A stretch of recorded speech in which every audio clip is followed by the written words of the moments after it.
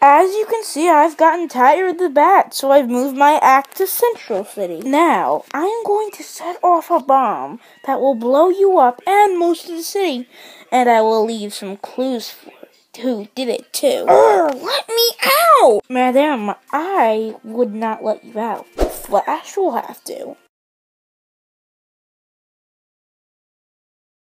Before I let you die, I'm going to tell you one last riddle.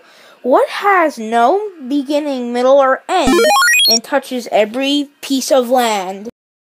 Oh, come on, it's so obviously the ocean.